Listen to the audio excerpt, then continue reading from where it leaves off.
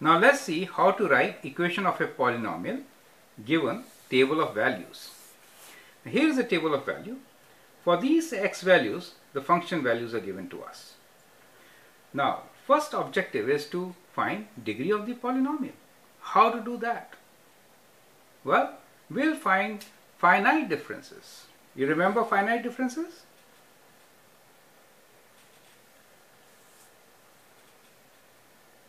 In finite differences is a process of like y2 minus y1, right?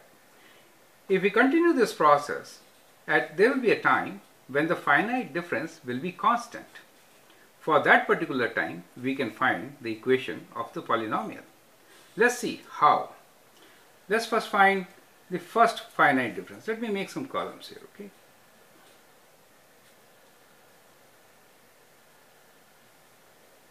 Okay, let's find first finite difference. I am denoting by this letter delta 1. So what is the finite difference? Difference between the two values, consecutive values. So we will do this minus this to find our finite difference.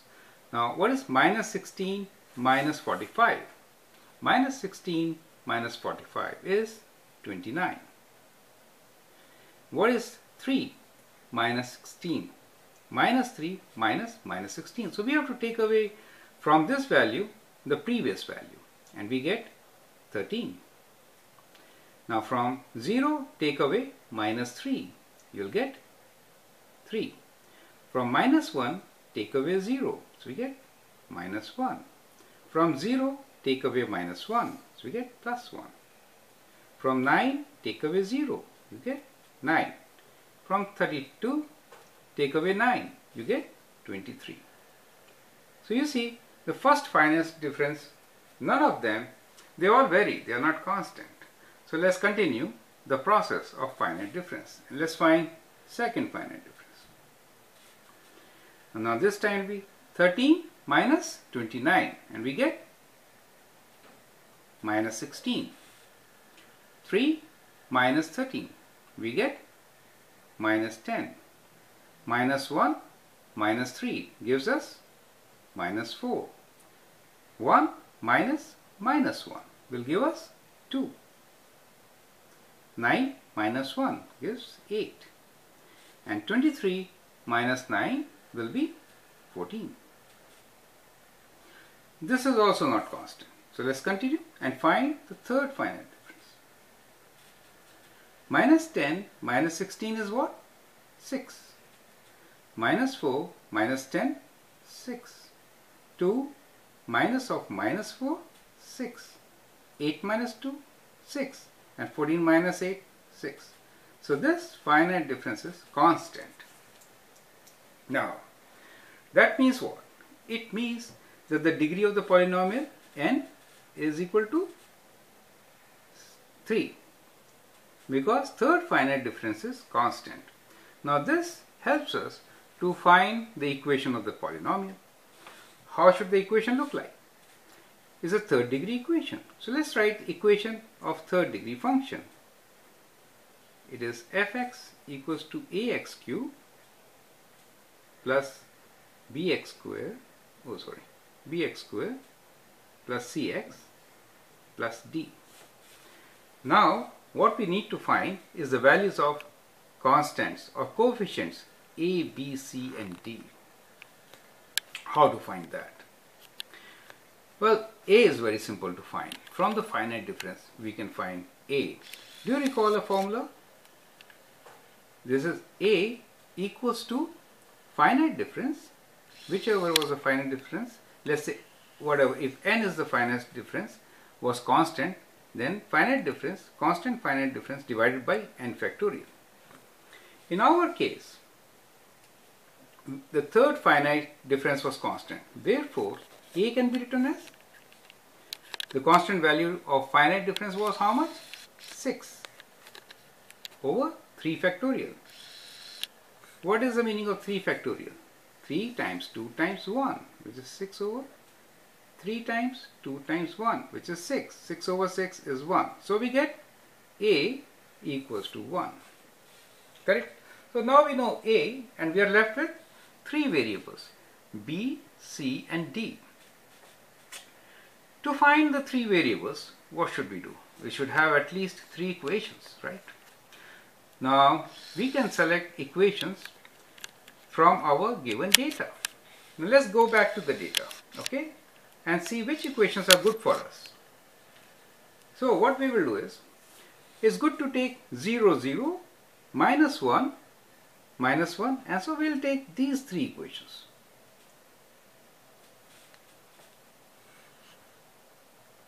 Why are we taking these equations?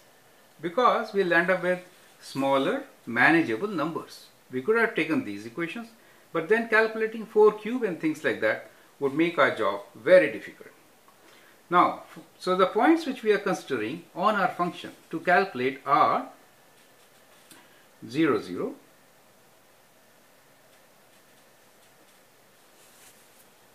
minus 1 minus 3 and 1 minus 1.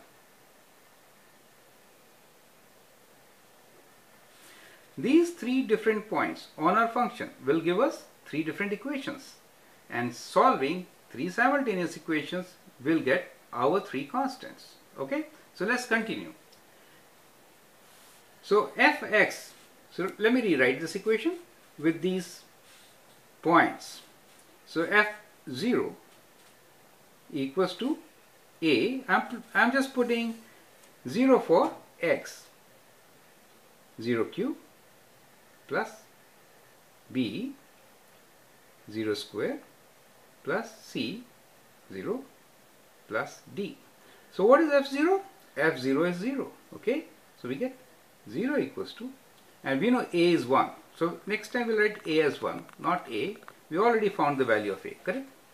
And this gives us 0 plus 0 times anything is 0 plus c times anything 0 is 0 plus d. From here we can say 0 equals to d, right? So we get first constant. What is the first constant? d equals to 0. Now next point, let's take minus 1 and minus 3. So say f of minus 1 equals to a is 1. So I'm just writing 1 for the time being. Next time I won't even write a because we know a is 1. x value is minus 1. So minus 1 to the power of 3 plus b minus 1 square plus c minus 1 plus instead of d I can write 0 correct because we just found d that it is equals to 0 and what is f of minus 1 f of minus 1 is minus 3 Right. minus 3 equals to minus 1 cube is minus 1 minus 1 minus 1 square is plus 1 so it will be just b. And uh, minus 1 times c will be minus c. Right? So this equation will bring the number on this side. So minus 3 plus 1 will give us minus 2 equals to b minus c. Let's call this equation 1 Now we will use the third point, f of 1. So f of 1 is how much for you? First, we'll replace all the x's with 1. So we get 1 cube plus b times 1 square plus c times 1. Remember d is 0, right? What is f of 1? F of 1 is minus 1. So let minus 1 equals to 1 plus b plus c. We'll take this one this side and we get our equation as minus 2 equals to b plus c. Let's call this equation 2. So we got two equations, equation 1 and 2 with two variables b and c. So by elimination we can easily find the values of b and c. Let's add equation 1 plus equation 2. So what do we get? Minus 2 plus minus 2 is minus 4 equals to b plus b 2b. And minus c plus c is 0. Correct? So 2b equals to minus 4 or minus 4 divided by 2 equals to b. That leaves us with b equals to what? Minus 2. So we know now b. We can plug the value of b as minus 2 into our equation and find the value of C. So let's put it in equation 2 itself. So minus 2, b is minus 2, right? Equals to minus 2 plus c. When you take minus 2 this side, minus 2 plus 2 is c. So minus 2 plus 2 equals to c. Therefore, c is what? c equals to 0. So in this process, you see how we have found all the three variables. Now knowing all this, we will substitute them back into our equation and get the equation of the function. So what is the equation of the function for us now finally? fx equals to ax cube, a was 1, x cube, plus bx square, b was minus 2, so we'll get minus 2x square, plus cx. Now c was 0, so plus 0, plus d, d is also 0, plus 0. Therefore, our function is fx equals to x cube minus 2x square. So that's the final answer for this. And you will now try to sketch this graph, okay, on the side.